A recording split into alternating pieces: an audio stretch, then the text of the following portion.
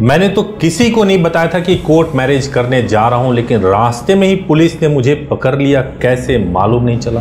क्या मैं अपने आधार से नया मोबाइल नंबर ले सकता हूँ? क्या सेम मोबाइल में नया सिम कार्ड यूज़ कर सकता हूँ? या कोई दूसरा मोबाइल लेना पड़ेगा जिसमें नया सिम लगाऊँ और यूज़ करूँ? नमस्कार, मैं हूँ एडवोकेट सुभाष सिंह और इस वीडियो में इन्हीं सब सवालों और प्रॉब्लम्स के बारे में बात करेंगे। एक सवाल जो बहुत ज़्यादा पूछा जाता है वो यह कि जब कभी भी हम कोर्ट मैरिज करने के लिए जाते हैं तो नेचुरली पुलिस जो ट्रैक करेगी, जब लड़की के घर वाले पुलिस थाने जाएँगे और कंप्लेंट करेंगे तो जो कंप्लेंट के बाद से जब पुलिस ट्रैक करेगी तो मेरा जो मोबाइल नंबर है उसी के थ्रू ट्रैक करेगी।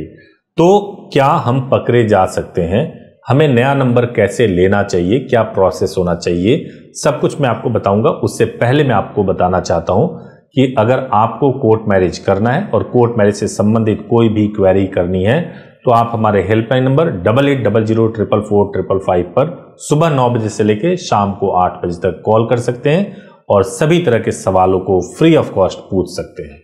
अब सबसे बड़ा चीज़ ये है कि जब आप कोर्ट मैरिज करने के लिए जाएँ तो आपको कोई असुविधा ना हो, कोई दिक्कत ना हो। इस वीडियो में फोकस करूँगा कि पुलिस आपको ना परेशान करे।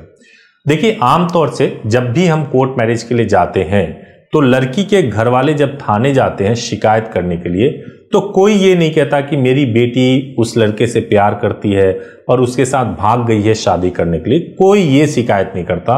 सभी लोग ये शिकायत करते हैं कि मेरी बेटी को बहला फुसला करके ये लड़का लेकर भाग गया। कोई पेरेंट्स तो ये भी कह देते हैं कि वो चोरी करके, सामान चोरी करके ले गई है। कुछ पेरेंट्स तो ये भी कह देते हैं कि वो उसके साथ रेप कर सकता है, जान से मार सकता है अलग अलग तरीके से दबाव बनाने की कोशिश करती है। तो ऐसे में पुलिस जो सबसे पहला काम करती है, वो ये करती है कि आपके मोबाइल नंबर को ट्रैक पे लगाती है ताकि आपका लाइव लोकेशन मिल सके।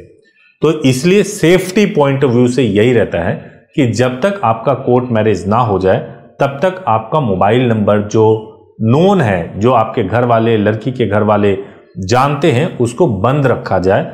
जब आप कोर्ट मैरिज कर लो, उसके बाद से वो नंबर ओपन करो, सबको बताओ कि आपने कोर्ट मैरिज कर लिया।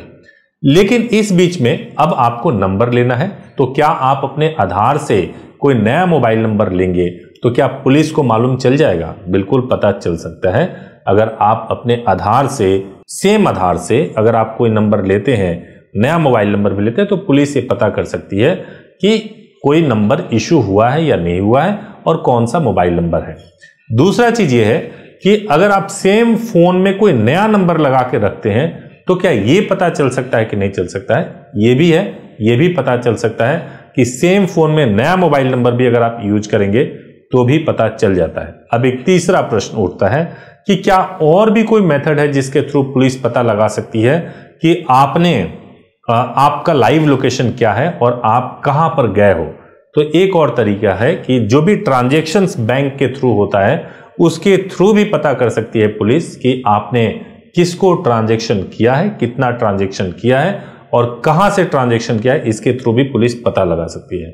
लेकिन बचने का उपाय क्या है? सबसे पहली चीज़ है कि देखिए, पुलिस नॉर्मली क्या होता है ना जब हम ट्रैकिंग के लिए जाते हैं, पुलिस को ट्रैक करना होता है तो उसमें परमिशन लेना पड़ता है। जैसे मान लीजिए कि केवल ये पता करना है कि लाइव लोकेशन क्या है, ये इजी है, मिल जाता है। इसमें कोई दिक्कत नहीं। अब ये पता करना है कि आधार से, इस आधार से और कौन कौन से मोबाइल नंबर इशू है, ये थोड़ा डिफ़िकल्ट प्रोसेस है। इसको करने में पुलिस को ज़्यादा टाइम लगता है।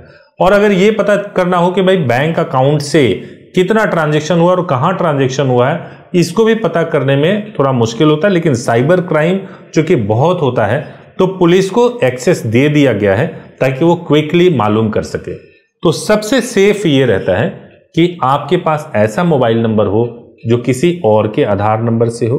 और दूसरी चीज़ कि आप उस पर्सनल नंबर से जो आपको नया मिला हुआ है, आप जिस किसी से भी शादी कर रहे हैं, मान लीजिए लीड इंडिया में ही कर रहे हैं तो आप उस नंबर से कांटेक्ट कीजिए जो आपने नया लिया हुआ है, ताकि आपकी सेफ्टी रहे।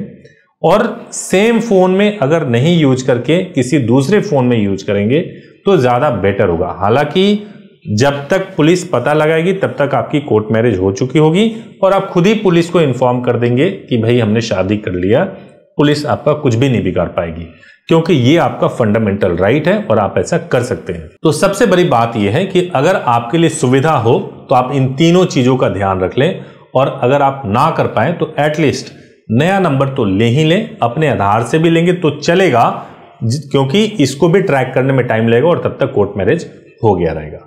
Thank you so much for watching this video thank you so much